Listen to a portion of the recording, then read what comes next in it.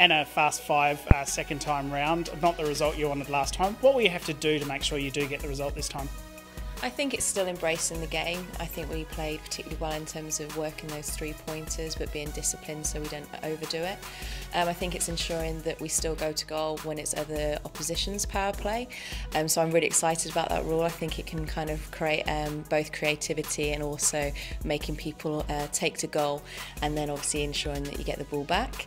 Um, so we're really excited. We're looking forward to it, but getting consistency across the uh, the full six minutes really. What players should we look out for a different England side this year to last year? Who are the people that um, you're really looking to stand up for you? As always, Rachel Dunn, um, I think she shows great breadth and depth in terms of her shooting capacity. Uh, Kadeen and Rosie have really um, matured and developed as shooters, so I think that's going to be a really exciting uh, shooting combinations. Um, it's great to have uh, Stacey Francis back in the group, leading by example, and as always, Serena um, offers us some great tricks and flamboyancy in our attack. What tricks can we expect? You're obviously the innovators in this competition have kind of set the bar for the other teams. So anything different from you this year?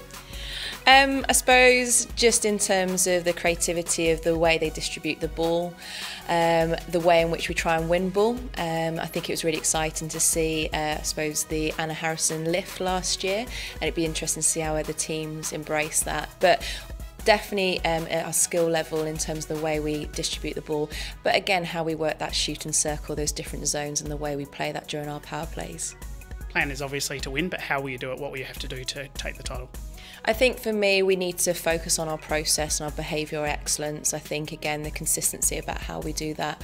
Um, for me, making sure that any given possession that we take through, because if you're turning over ball or if you're scoring it, obviously you're back on defence. So just really valuing that possession and how we change the angles in order to take to goal.